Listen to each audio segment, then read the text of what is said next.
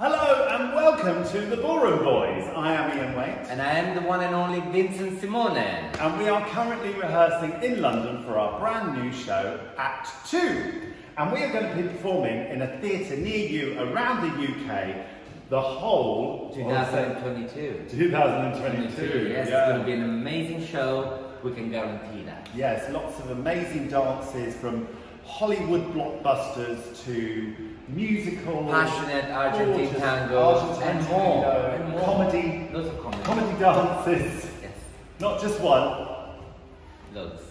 not Two. just two, but three. Three. Three comedy numbers.